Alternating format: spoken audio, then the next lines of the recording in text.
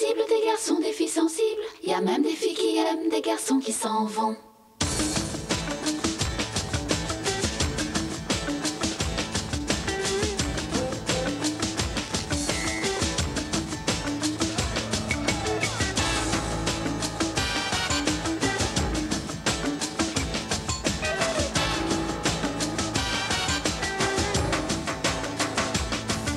Y a des histoires de filles, des histoires de garçons